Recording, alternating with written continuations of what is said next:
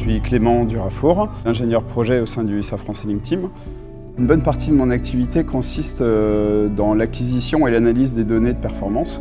Donc ça commence par euh, l'installation et le suivi d'un parc de capteurs qui sont à bord. Et en échange avec le skipper, euh, on va essayer de, de, mieux comprendre le bateau, de trouver des points de fonctionnement bien particuliers en fonction des différentes conditions de navigation. Ce qui me plaît le plus, c'est vraiment la diversité à la fois des domaines dans lesquels on travaille et des tâches qu'on peut réaliser au quotidien. C'est la passion qui m'a amené ici, la passion de la voile, la passion de la mer, le rêve que suscitait aussi ces, ces, courses au large et mon intérêt pour euh, la science, les techniques, la technologie.